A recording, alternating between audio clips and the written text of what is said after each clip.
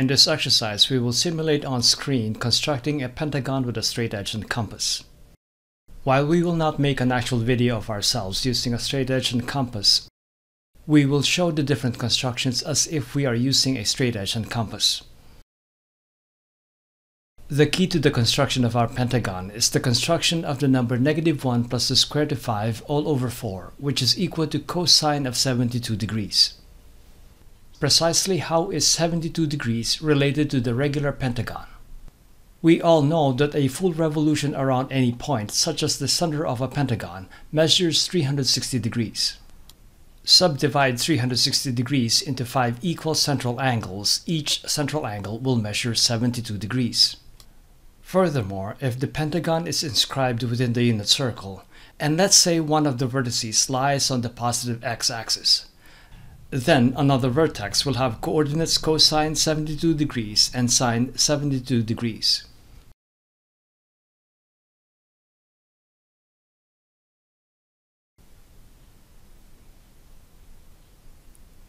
We begin the construction of our pentagon by constructing a straight line, which we designate to be our x-axis.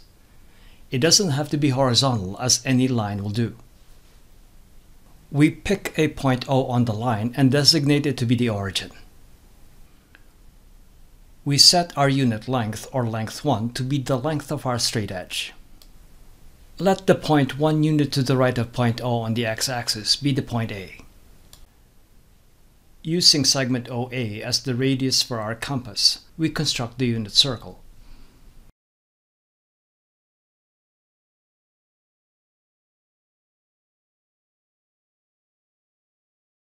Next, we construct the line perpendicular to the x-axis through the point A. To construct this perpendicular line, we center our compass at the point A and construct a circle of radius 1.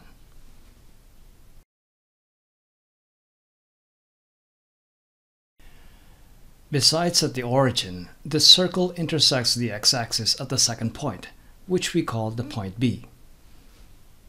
We use segment OB for the radius of our compass and construct a circle of radius 2, this time centered at B.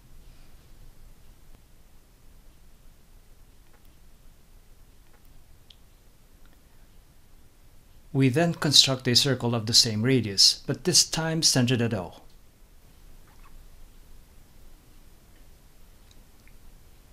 There should be two points of intersection between these two circles. We call these two points points C and D. Line CD is the line through A that is perpendicular to the x-axis. Keeping segment OB as the radius for our compass, we construct a third circle of radius 2, this time centered at A. This circle should intersect line CD at two points, which we call points E and F. Observe that points O, A, and E are vertices of a right triangle whose legs are 1 and 2. Therefore, the hypotenuse has length square root of 5. We use segment OA again, the unit length, as the radius for our compass. We construct an arc centered at E and intersecting segment OE. Let G be the intersection between this arc and segment OE. Since the length of segment EG is 1, the length of segment OG is minus 1 plus the square root of 5. We get a quarter of this length and we will have cosine of 72 degrees. So we proceed to bisect segment OG. Using segment OG as the radius for our compass, we center the compass at O and construct a circle with radius OG.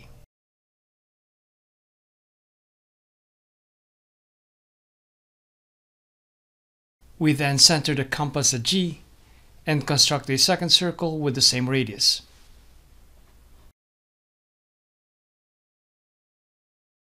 We label the points of intersection between these two circles as the points H and I. And so segment HI is a perpendicular bisector of segment OG. Let J be the point of intersection between the two segments. Then the length of segment OJ is half negative 1 plus the square root of 5. And so we just have to bisect a segment OJ. So we center our compass at O and construct a circle of radius OJ.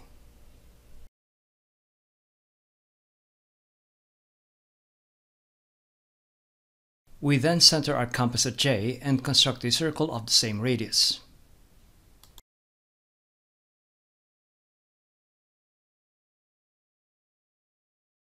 Let the points of intersection between these two circles be the points K and L. Then segment KL is a perpendicular bisector of segment OJ. And so if M is the intersection between segment OJ and segment KL, the length of segment OM is equal to 1 fourth negative 1 plus the square root of 5, or cosine 72 degrees. We need this length for the x-coordinate of a vertex of our pentagon. And so we construct a circle centered at O and with radius OM. This circle intersects the positive x-axis at a point which we call P. The point P has the same x-coordinate as two vertices of the pentagon we are constructing. These two vertices lie on the line perpendicular to the x-axis through the point P. We use segment OP as the radius for our compass and construct a circle centered at P.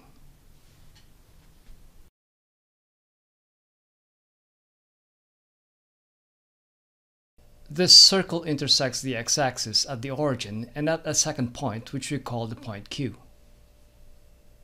We then use segment OQ as the radius for our compass and construct a circle centered at Q.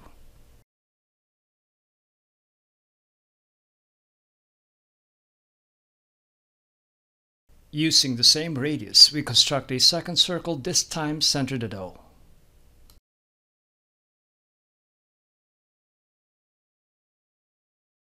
These two circles intersect at two points that we call points R and S.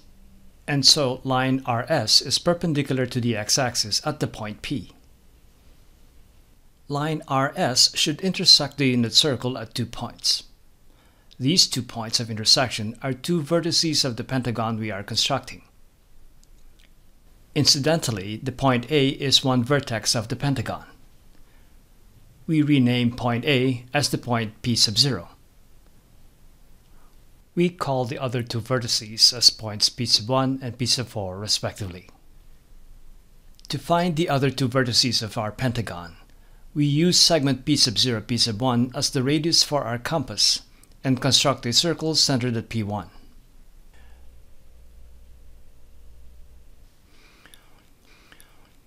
This circle intersects the unit circle at two points of the pentagon. One of them is P sub 0 and the other one we call P sub 2. Maintaining the same radius for our compass, we construct a circle of the same radius but this time centered at P2. A point of intersection between this circle and the unit circle is the fifth and final vertex of our pentagon. We call this point P sub 3.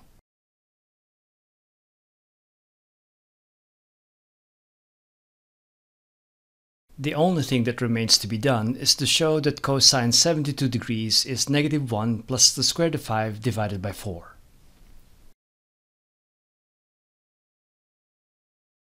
We start with an isosceles triangle whose base angles both measure 72 degrees. The angles of this triangle should add up to 180 degrees, and so the apex angle should measure 36 degrees. We suppose that the length of the base AB is equal to 1. We bisect the angle at A using a segment intersecting segment BC at the point D. And so we have two angles at the vertex A, each measuring 36 degrees. And so angle ADB should measure 72 degrees. And so with two angles both measuring 72 degrees, triangle ABD must be isosceles, and so segment AD also has length 1. Now triangle ACD has two angles both measuring 36 degrees, and so triangle ACD must also be isosceles, so that the length of segment CD is also equal to 1.